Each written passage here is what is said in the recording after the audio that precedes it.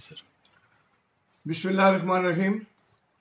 میں تمام جو میری آواز سن رہے ہیں، ان کی خدمت میں میں سلام عرض کرتا ہوں۔ اور پوری قوم کو مبارکباد دیتا ہوں کہ ہمارے قائد نواشی صاحب، ان کے داماد کیپٹن صدر صاحب، اور ہمارے مستقبل کی لیڈر مریم نواز صاحبہ کو ہائی کورٹ کی طرف سے ریلیو ملا اور وہ رہا ہو کر باہر آ گئے۔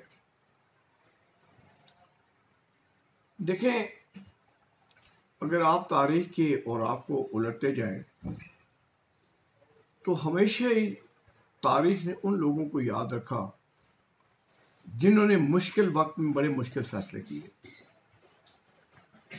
اور تاریخ میں ایسے فیصلے کیے کہ تاریخ ان کے نام کو سنہری حروف سے لکھتی بھی ہے اور یاد بھی کرتی ہے۔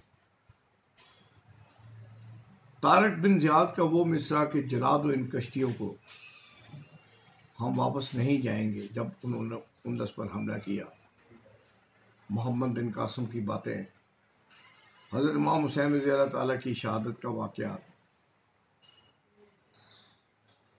یہ وہ واقعات ہیں جس کو تاریخ نے ہمیشہ ہمیشہ کے لیے محفوظ کر رکھا ہے۔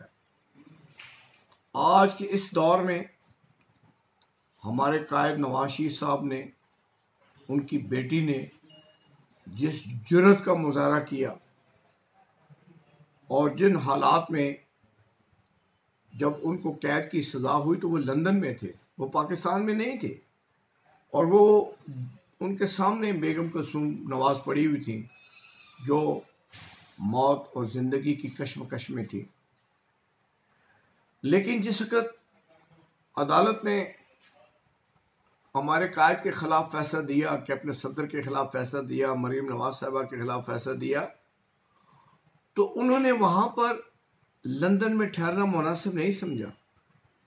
اور اس حالت میں بھی اپنی بیوی کو چھوڑ کر پاکستان آئے اور اپنے آپ کو قانون کے حوالے کر دیا۔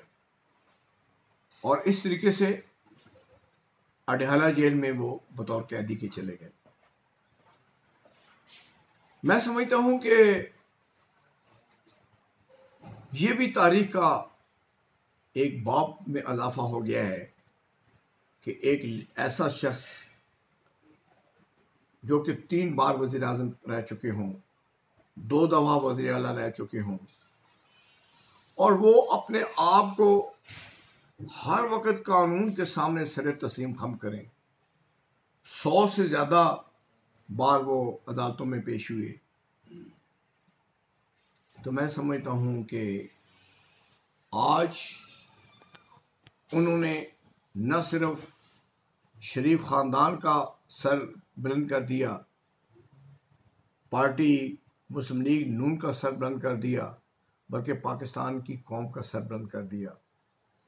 کیونکہ تاریخ اس بات کی گواہ ہے کہ قومیں انہیں اپنا ہیرو مانتی ہیں، جو لوگ دلیر ہوتے ہیں، بہادر ہوتے ہیں۔ دلیرانہ فیصلے کرتے ہیں، بہادر بہادری کے ساتھ ہر حالات کا مقابلہ کرتے ہیں۔ حالات کے سامنے جھکتے نہیں حالات کو اپنے سامنے جھکا لیتے ہیں۔ اور میں سمجھتا ہوں کہ ہمارے قائد نے وہ تاریخ میں ایک باب کا اضافہ کر دیا ہے۔ نہ وہ جیل سے گھبرائے، نہ وہ عدالتوں سے گھبرائے، مردانہ وار مقابلہ کیا۔ ایک وزیر اعظم اور وزیر اعلیٰ رہ چکے ہوں۔ عدالت ان کے خلاف فیصلہ دے کر یہ کہے کہ انہوں نے کوئی کرپشن نہیں کی۔ یہ کوئی معمولی بات نہیں ہے۔ آج وہ سرخرو ہو کر نکلے ہیں۔ اس ملک میں آج بھی آپ ریفرنڈم کرا لیں تو آپ دیکھیں گے کہ اسی فیصد قوم آج بھی نواز شریف کے ساتھ کھڑی ہے۔ اور صحیح معنوں میں اگر پاکستان کو ترقی دی پاکستان کے عوام کی حالت بہتر ہوئی۔ لوڈ شیڈنگ کا خاتمہ ہوا۔ ملک میں امن آیا۔ تو یہ سارا سیرا جو ہے، یہ نواز شریف کے سر پہ جاتا ہے۔ اور ہماری اس قوم کی بیٹی نے جس جرت کا مقابلہ کیا، جن حالات کا مقابلہ کیا، جن حالات میں وہ اپنی والدہ کو جس حال میں چھوڑ کر واپس آئیں، یہ بھی تاریخ کا ایک باب ہے۔ جو کہ ہمیشہ ہمیشہ سنہری روپ سے لکھا جائے گا۔ ورنہ جس طرح کہ میاں صاحب نے خود بھی کہا کہ بڑا مشکل وقت تھا، اس حالت میں اپنے گھر کے فیملی ممبر جو اس حالت میں ہو، اس کو چھوڑ کر آ جانا۔ کیونکہ ایک طرف محترمہ بیگم کلثوم نواز تھی، تو دوسری طرف انہیں اپنا فرض بلا رہا تھا۔ اور انہیں قانون بلا رہا تھا۔ انہوں نے قانون کے سامنے جھکنا، گوارا کیا، بہتر سمجھا، اپنے گھر کی قربانی دے دی۔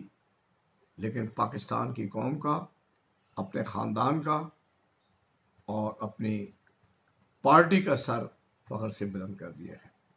آج پوری قوم ان کو خراج عقیدت پیش کر رہی ہے۔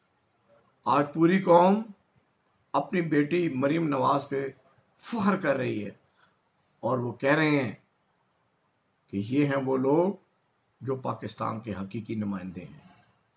وقتی طور پر امتحان آتے رہتے ہیں، مشکل وقت بھی آتا رہتا ہے۔ اللہ تعالیٰ قرآن پاک میں فرماتے ہیں کہ ہم انسانوں کے درمیان دنوں کو بدلتے رہتے ہیں۔ انشاءاللہ بہت یہ دن دور نہیں، بہت جلد حالات بدلیں گے اور انشاءاللہ پھر ایک دفعہ یہی خاندان برسر اقتدار آئے گا اور پاکستانی قوم کی محروموں کو دور کرے گا۔ بہت بہت شکریہ۔